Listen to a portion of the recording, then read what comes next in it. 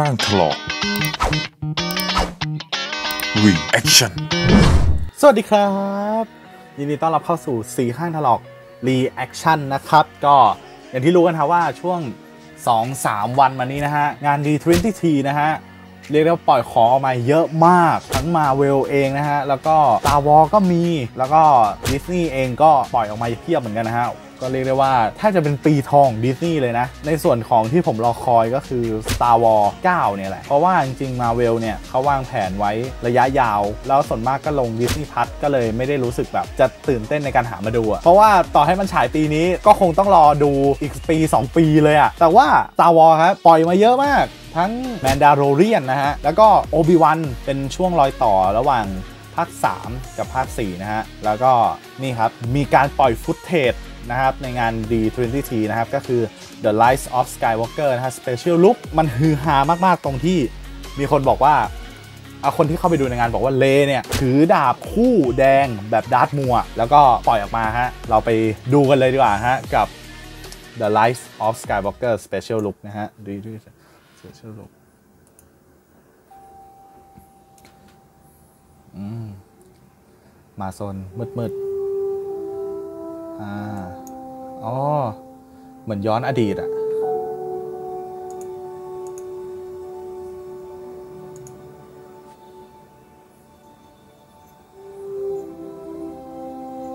อืม คือย้อนภาค4 5 6ให้เราดูนะฮะ แล้วก็ น่าจะย้อน4 5 6ให้ดู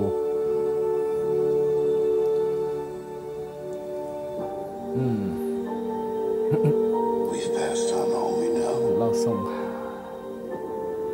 อ๋อย้อน1 2 3ด้วย A thousand generations live in you now. ย้อนตามระดับการฉายไปเลยนะ อะเจ็ดมาละ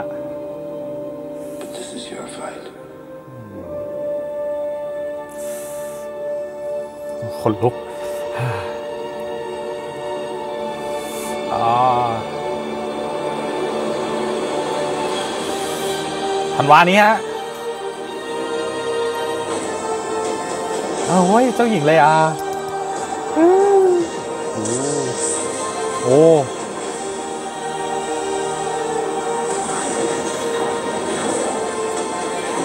เฮ้ยโคตรเท่อือเอาว่ะสู้กันว่ะ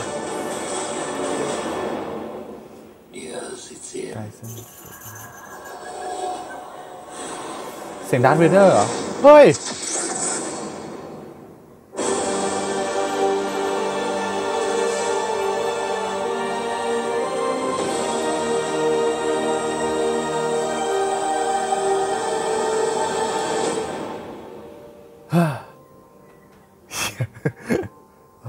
ทำใจไม่ทัน